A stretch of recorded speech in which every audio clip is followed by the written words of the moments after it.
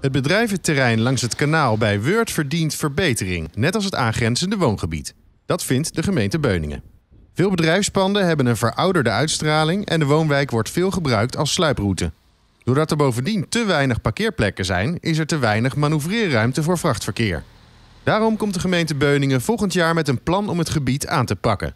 Wat dat gaat kosten is nog onduidelijk.